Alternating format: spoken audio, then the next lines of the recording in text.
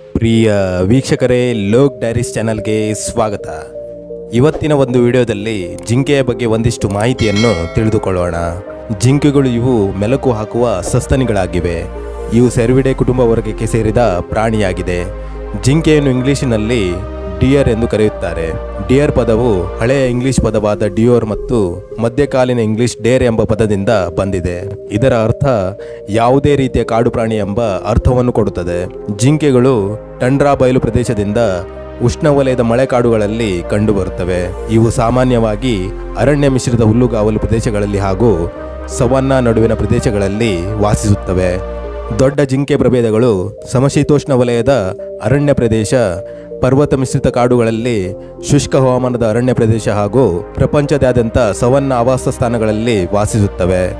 ಜಿಂಕೆಯು ಹುಲ್ಲು, ಕಳೆಗಳು ಹಾಗೂ ಗಿಡಮೂಲಿಕೆಗಳನ್ನು ತಿನ್ನುತ್ತವೆ. ಇಂಥವುಗಳನ್ನು ತಿನ್ನುವುದರಿಂದಾಗಿ ಗಿಡಮೂಲಿಕೆಗಳು ಸೊಂಪಾಗಿ ಬೆಳೆಯುತ್ತವೆ.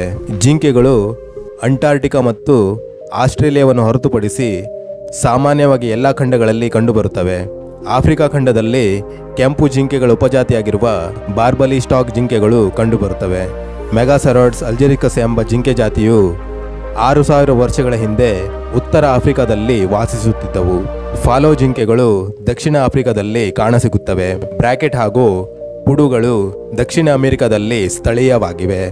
ಮಂಡ್ಜಾಕ್ ಎಂಬ ಜಿಂಕೆ ಪ್ರಭೇದಗಳು ಏಷ್ಯಾದ ದಟ್ಟ ಕಾಡುಗಳಲ್ಲಿ ವಾಸಿಸುತ್ತವೆ. ಭಾರತದಲ್ಲಿ ಒಂದು ಜಾತಿಯ ಮಂಡ್ಜಾಕ್ ಜಿಂಕೆಯನ್ನು ಕಾಣಬಹುದು. ಜೌಗು ಪ್ರದೇಶಗಳು, ಆರ್ಧ ಸವನ್ನಾಗಳು ಹಾಗೂ ಮರುಭೂಮಿಗಳಿಂದ ಆವೃತವಾದ ನದಿಯ ಅಂಚುಗಳಲ್ಲಿ ವಿಶೇಷವಾಗಿ ಕಂಡುಬರುತ್ತವೆ. ಯುರೇಷಿಯನ್ ಖಂಡವು ಪ್ರಪಂಚದಲ್ಲಿ ಅತಿ ಹೆಚ್ಚು ಜಾತಿಯ ಜಿಂಕೆಗಳನ್ನು ಹೊಂದಿದೆ.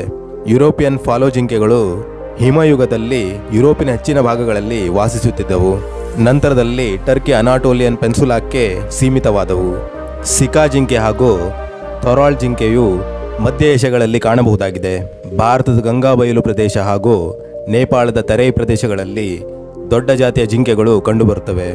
ಜಿಟಾಲ್ ಹಾಗೂ ಆಕ್ ಜಿಂಕೆ, ಬರ್ಸಿಂಗ್, ಭಾರತದ ಸಾಂಬಾರ್, ಭಾರತೀಯ ಮಂಗ್ಜಾಟ್ಗಳು ಇಲ್ಲಿ ಕಾಣಬಹುದು. ಭಾರತ, ನೇಪಾಳ, ಶ್ರೀಲಂಕಾದ ರಾಷ್ಟ್ರೀಯ ಉದ್ಯಾನವನಗಳಲ್ಲಿ ಜಿಂಕೆಗಳನ್ನು ಕಾಣಬಹುದು. ಅವುಗಳಲ್ಲಿ ಕನ್ನಾ ರಾಷ್ಟ್ರೀಯ ಉದ್ಯಾನವನ, ದುಧ್ವಾ ರಾಷ್ಟ್ರೀಯ ಉದ್ಯಾನವನ ಚಿತ್ವಾನ್ ರಾಷ್ಟ್ರೀಯ ಉದ್ಯಾನವನವು ಪ್ರಸಿದ್ಧವಾಗಿದೆ. ಶ್ರೀಲಂಕಾದ ವಿಲ್ಪಟ್ಟು ರಾಷ್ಟ್ರೀಯ ಉದ್ಯಾನವನ ಹಾಗೂ ಯಾಲಾ ರಾಷ್ಟ್ರೀಯ ಉದ್ಯಾನವನವು ಭಾರತೀಯ ಸಾಂಬಾರ್ ಮತ್ತು ಚಿತಾಲ್ ಜಾತಿಯ ಜಿಂಕೆ ದೊಡ್ಡ ಹಿಂಡುಗಳನ್ನು ಹೊಂದಿದೆ. ಆಸ್ಟ್ರೇಲಿಯಾಗಳಲ್ಲಿ ಆರು ಜಾತಿಯ ಜಿಂಕೆಗಳನ್ನು ಕಾಣಬಹುದು. ಅವುಗಳು ಯಾವುದೆಂದರೆ ಪಾಳು ಜಿಂಕೆ, ಕೆಂಪು ಜಿಂಕೆ, ಸಾಂಬಾರ್ ಜಿಂಕೆ, ಹಂದಿ ಜಿಂಕೆ ರುಸಾ ಮತ್ತು ಚಿತಾಲ್. ಇಂತಹ ಜಾತಿಯ ಜಿಂಕೆಗಳು ದೊಡ್ಡ ಪ್ರಮಾಣದಲ್ಲಿ ಕಾಣಸಿಗದಿದ್ದರೂ ಸಣ್ಣ ಪ್ರಮಾಣದಲ್ಲಿ ಆಸ್ಟ್ರೇಲಿಯಾದಲ್ಲಿ ಕಾಣಬಹುದಾಗಿದೆ.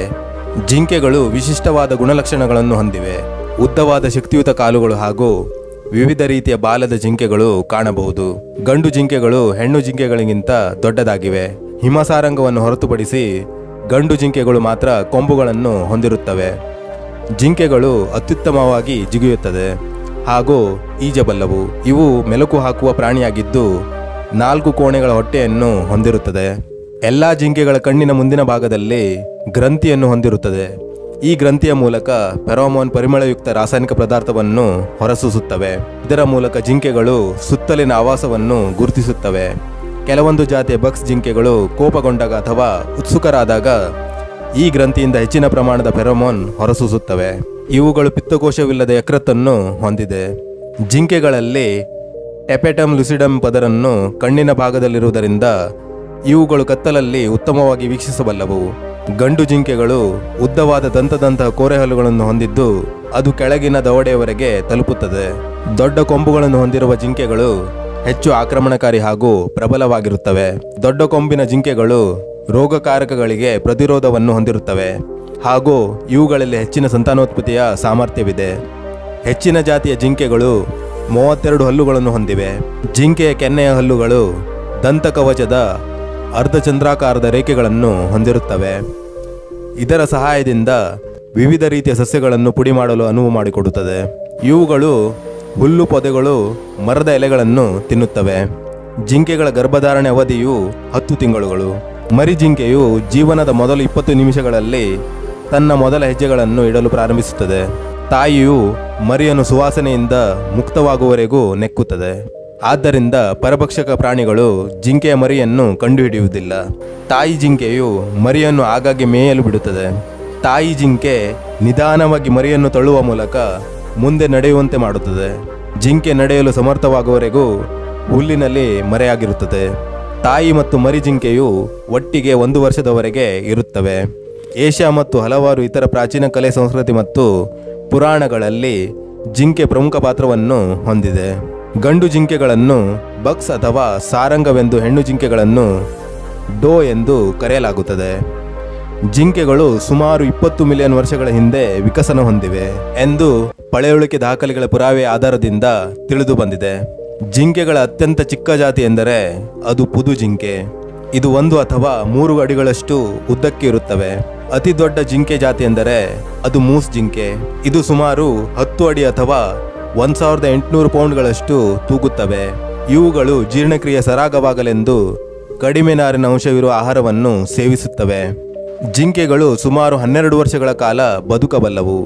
ಬಿಳಿ ಬಾಲದ ಜಿಂಕೆಯ ಸಂಖ್ಯೆ ಸುಮಾರು ಮೂವತ್ತು ಮಿಲಿಯನ್ಗಳಿವೆ ಎಂದು ಅಂದಾಜಿಸಲಾಗಿದೆ. ಜಿಂಕೆಯ ಬೇಟೆಯಿಂದಾಗಿ ಹಲವಾರು ಜಿಂಕೆಗಳು ಅಳಿವಿನಂಚಿನಲ್ಲಿವೆ. ಆದರೆ ಇದರ ಸಂರಕ್ಷಣಾ ಪ್ರಯತ್ನಗಳು ಸಾಗುತ್ತಿವೆ.